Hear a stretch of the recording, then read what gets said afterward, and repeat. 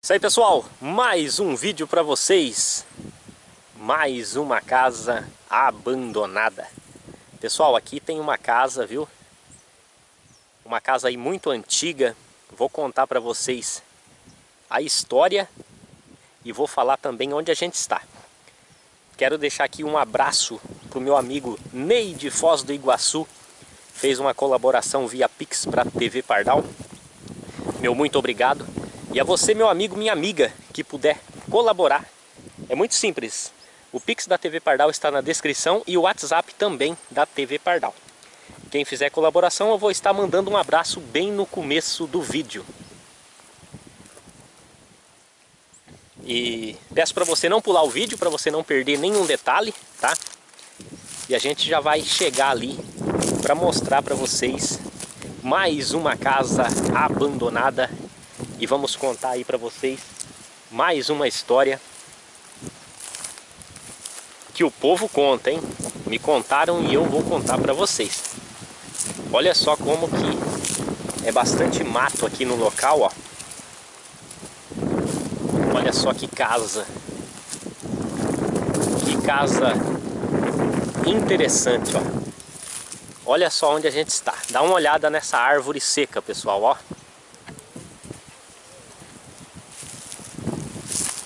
Tá ventando bastante, é, não sei se vai dar alguma interferência aí no, no microfone, espero que não.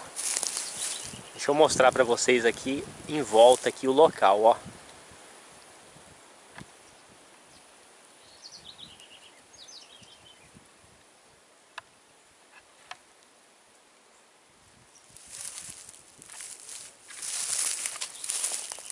E aqui a casa uma casa aí antiga, construída na década de 60. Dá uma olhada os detalhes da janela dessa casa, pessoal, ó. Dá uma olhada para vocês verem, ó. Janelas aí de madeira bem antiga, ó. Aqui o mato já está engolindo aí a janela com casa e tudo. Olha só esse IP. IP amarelo, ó muito bonito. E é isso aí. Deixa eu, eu chegar ali. Ali na frente tem um carro ou um caminhão, não sei se é alguém. Vamos ver quem que é. Um caminhão parado ali. Mas é isso aí. Pessoal, estamos filmando na área rural aí de Paranavaí, no Paraná. E agora vamos entrar na casa e eu já vou contar para vocês aí a história do local, hein? Deixa eu chegar aqui. Vamos ver se dá para passar aqui. Vamos entrar aqui pelo meio do mato. Ó, aqui um buraco de cobra, ó. Buraco de cobra. E vamos ver por onde que a gente vai entrar aqui.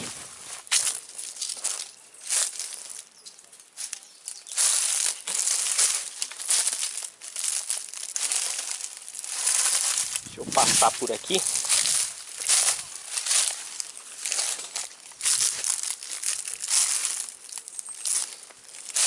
Olha só, pessoal, que casa! Casa antiga. O lugar aqui é fantástico, olha isso. Olha só, pessoal. Dá uma olhada para vocês verem. Realmente, e eu já dei aquela arrepiada básica que a gente sempre dá quando chega numa casa abandonada assim, hein?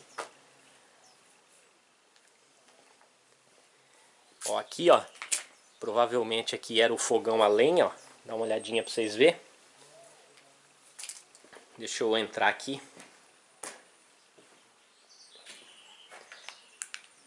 Olha só.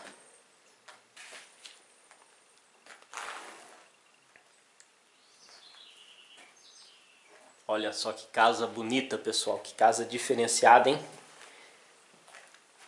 Pessoal, me acompanhe também pela página do Facebook TV Pardal. Lá a gente também posta vídeos aí todos os dias.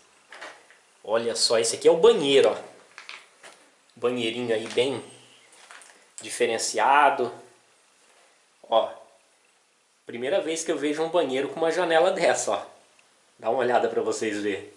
Comenta aí se vocês já viram um banheiro com uma janela dessa. Realmente muito interessante, né, pessoal? Nossa senhora! Que susto, pessoal. Morcegos.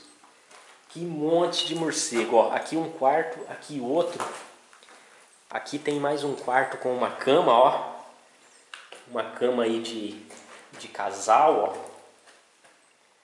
E essas janelas são uma pintura, né, pessoal, ó. Essas janelas realmente muito interessante. Aqui, ó, aqui o mato tá tá tomando conta de tudo, ó. Um pequeno toldo aqui. Olha isso. Um pequeno toldo. Essa era a visão aí do proprietário aqui da casa. Pessoal, já vou contar para vocês a história, viu? Primeiro eu vou mostrar a casa em detalhes e aí eu já vou contar para vocês aí o que aconteceu aqui nesse local. Todas essas janelas realmente são umas janelas bem interessantes, ó. Ali embaixo uma mata, ó. ó. Lá do outro lado, ó, a gente avista uma casinha, ó, de algum algum povoado, ó, dá uma olhada para vocês verem, ó. Bastante vaquinhas lá andando, ó.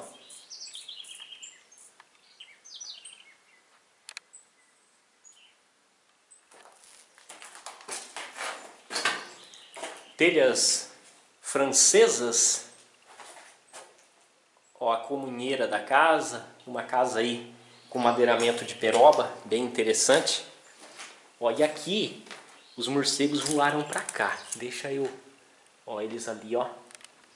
Ó.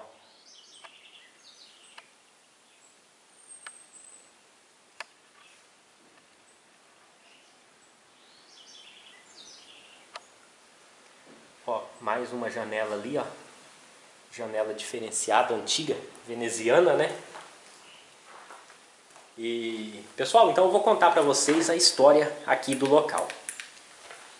Segundo informações que eu colhi na cidade, quem morou nessa casa foi um casal. Seu Leonardo e Dona Maria moraram aqui nessa casa.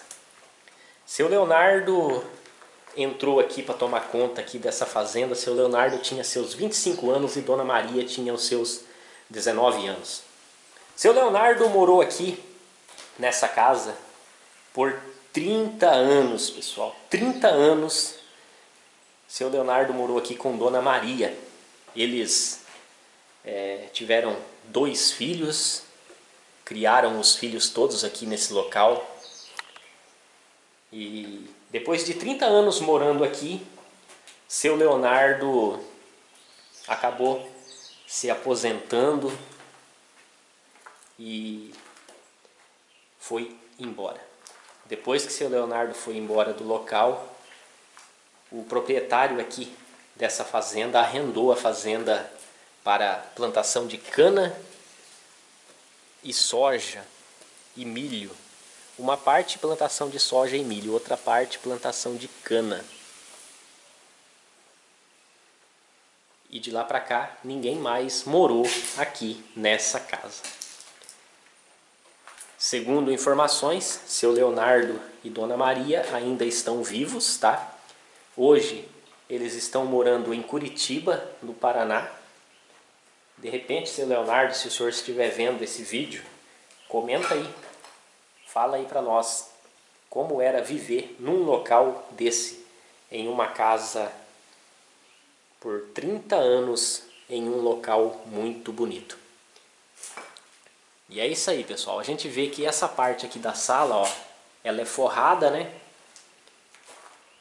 O único cômodo que é forrado é a sala e esse quarto aqui, ó, que era o quarto principal. Os outros quartos dos filhos era sem forramento. Aqui a cozinha também sem forramento. Aqui uma grande uma varanda, ó. O chão com tijolinhos, tijolinhos é, de barro, ó. E bastante mato em volta, né? O mato está hoje está engolindo tudo aí, ó. E é isso aí. Ali, ó, pedaço ali da da comunheira ali da casa, ó, vamos dar uma olhada. Olha só as telhas, ó. E e é isso aí. Aqui o bastante mato no chão, né? Vamos dar uma passada aqui pra gente dar uma olhada. Ali um murinho de arrimo, ó, feito com tijolinhos também. E aqui as janelas dessa casa. Essa árvore aqui nasceu no pé, ó. Está engolindo aí a casa. Muito legal os ipês. E olha só o que, que eu encontrei ali no meio do, do ipê, ó. Dá uma olhada para vocês verem, ó que bonito, ó. Olha só isso, pessoal. Uma casa de João de Barro, ó. Realmente bem interessante, né? A natureza em volta aí é muito bonita, hein? E é isso aí, deixa eu sair pra cá pra gente pra gente poder finalizar o vídeo, ó, como falei pra vocês, ó, a plantação de milho, né? O milho já foi colhido.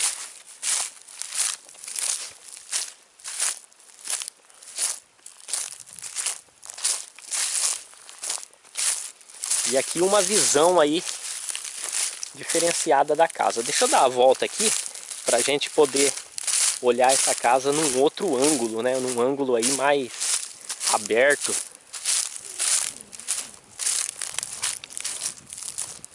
Olha só. Olha só que casa bonita, ó.